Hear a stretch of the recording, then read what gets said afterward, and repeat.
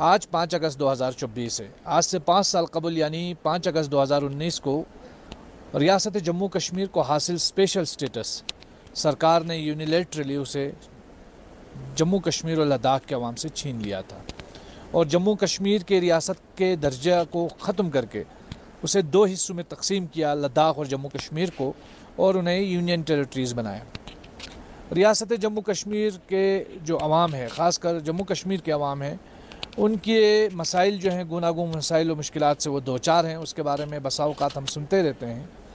जहाँ तक मैं लद्दाख की बात करूँ, इन पाँच सालों में हमने देखा है कि इन पाँच सालों में आज तक सबसे ज़्यादा नुकसान जो यहाँ हुआ है वह एक तो यहाँ के डेमोक्रेटिक स्ट्रक्चर को हुआ है। उसके बाद यहाँ के यूथ्स को हुआ है क्योंकि पाँच साल में एक भी गेजेटेड पोस्ट की जो नौकरी है, वो आज तक लद्दाख के किसी भी नौजवान को नहीं मिली है इन पाँच सालों में। इन पाँच सालों में हमने देखा है कि जो हमारा बचा कुचा डेमोक्रेटिक इंस्टीट्यूट है, Ladakh autonomous hill development council उसका बिज़नेस रूल का अभी तक पता नहीं है कि वो क्या ये ब्यूरोक्रेट्स के नीचे काम करेंगे या फिर वो ब्यूरोक्रेट्स के ब्यूरोक्रेट्स इस हिल काउंसिल के नीचे काम करें। इन पाँच सालों में हमने ये देखा कि जो भी पॉलिसी लद्दाख में इंट्रोड्यूस हो रही है, उसमें हिल काउंसिल की कोई भागीदारी नहीं है। आज कुछ दिन कबल यहाँ एक न्यू इंडस्ट्रियल पॉलिसी के लिए कमेंट्स मांगे जा रहे हैं। वो ड्राफ्ट तैयार हो चुका है। उस ड्राफ्ट में भी हम देखते हैं, ले दे कि अगर हम उसका खुलासा करें उस न्यू इंडस्ट्रियल पॉलिसी की तो वो लैंड ग्रेबिंग पॉलिसी है न्यू इंडस्ट्रियल पॉलिसी से ज़्यादा। एक यूनिवर्सिटी है, वो न स्टेट यूनिवर्सिटी है, न सेंट्रल यूनिवर्सिटी है, यूनिवर्सिटी ऑफ़ लद्दाख, बल्कि एक क्लस्टर यूनिवर्सिटी का स्टेटस लेके बैठी हुई है। शुरू में वो यूनिवर्सिटी ऑफ़ कश्मीर का सैटेलाइट कैंपस था। वो उसी वो उसी हालत में है।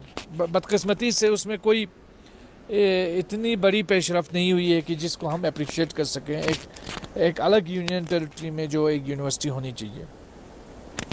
हॉस्पिटल्स की बात करें, बहुत बुरा और ख़स्ता हालत है।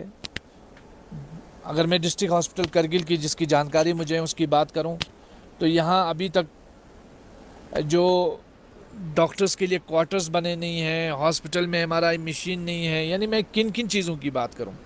पाँच सालों में कोई एग्रीकल्चर यूनिवर्सिटी नहीं है कोई मेडिकल कॉलेज नहीं है आ, और इन पाँच सालों में जॉब्स का बुरा हाल है। आउटसोर्सिंग के नाम पे बहुत बड़ा इस्तेसाल एक्सप्लाइटेशन का दौर जारी है। मिनिस्ट्री में जब लद्दाखी लीडरशिप और गवर्नमेंट ऑफ़ इंडिया और एमएचए के लोग और लद्दाखी लीडर्स की जब बात हुई तो तकरीबन इस बात पे इत्तेफाक हुआ था कि ये जो जम्मू, लद्दाख से पब्लिक सर्विस कमीशन जो है लद्दाख को या तो अलग दिया जाएगा ये, या Jammu Kashmir public service commission में लद्दाख को भी शामिल किया जाएगा। अब मुझे लगता है कि ऐसी कोई बात नहीं होगी। वापस डेनिक्स के अंदर डालने की बातें हो रही हैं। बात कितनी सच है, ये तो सरकार ही इसको साफ़ करेगी, लेकिन जो मेरे ज़राए हैं या जो मैंने सुना है, उनके मुताबिक जो है, लद्दाख को भी डेनिक्स के अंदर डाला जाएगा। तो मज़ीद मुश्किल तो आलाम का दौर देखने को मिल सकता है। ऐसे में मैं ये समझता हूँ कि ये जो पाँच अगस्त है, ये डे ऑफ़ बिट्रेयल है, हमारे साथ धोखा हुआ है, और हमारे आवाम को मुसलसल ह्यूमिलिएट किया जा रहा है।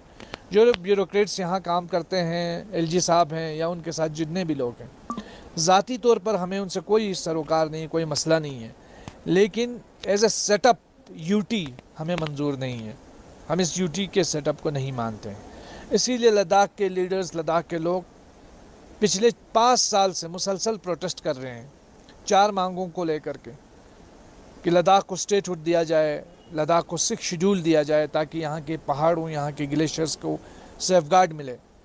और अगर सरकार ये कुछ भी देने को तैयार नहीं है नौजवानों को जॉब दी जाए, जो एजुकेटेड अनएम्प्लॉयड यूथ्स हैं, उनके हाथों में जॉब नहीं है पब्लिक सर्विस कमीशन नहीं है रिप्रेजेंटेशन का सवाल है।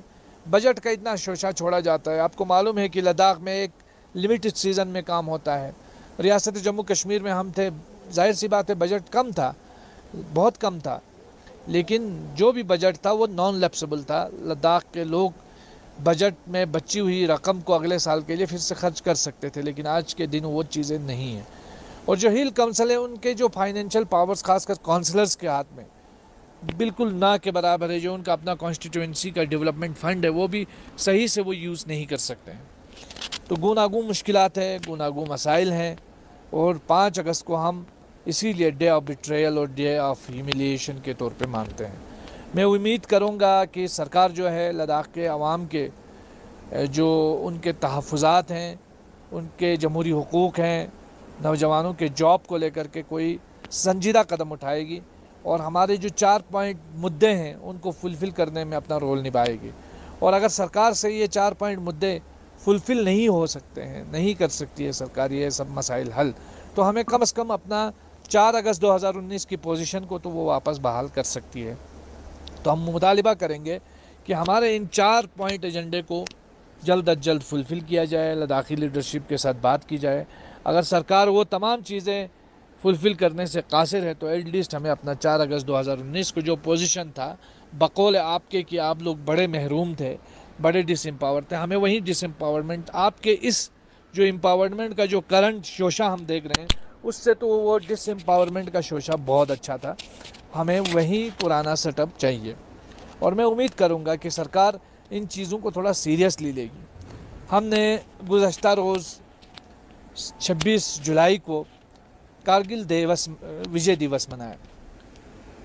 जितने भी जर्नल्स जितने भी ऑफिशियल्स आर्मी ऑफिशियल्स डिफेंस के लोग आए, वो सब लद्दाख के लोगों की, देशभक्ति की, वो सराहना कर रहे थे अप्रिशिएट कर रहे थे इनक्रेज कर रहे थे। लद्दाख के लोगों ने हमेशा देश में जब भी कभी मुसीबत आई इस इलाके में तो देश का साथ दिया है। आइंदा भी देंगे। लेकिन मेरा सवाल ये है कि जब सरकार को, देश में मौजूद सरकारों को कुछ देने का मौका आता है लद्दाख के लिए तो वो अपने हाथ पीछे क्यों करते हैं? क्यों वो लद्दाख के लोगों को अपना नहीं समझते हैं? और अगर अपना समझते हैं तो वो चीज़ दीजिए जो लद्दाख के लोग चाहते हैं और जो चीज़ें भारत के संविधान के डोमेन में आती हैं। और ये वो चीज़ें हैं कि जो भारत के संविधान के डोमेन में आती हैं। कोई अलग सी चीज़ हम नहीं मांग रहे हैं। तो इसलिए मेरी गुजारिश है कि सरकार जो है, लद्दाख के आवाम के मुतालबात को संजीदगी से ले और उसे एड्रेस करने की कोशिश करें। एक बार फिर मैं लद्दाख के आवाम से अपील करूँगा कि वो अपने जमहूरी हकूक़ के लिए, अपने ज़मीनों के लिए, अपने जॉब्स के लिए मुतहद होकर आगे बढ़ें और इन कामयाबी ज़रूर हमारे कदम चूमेगी।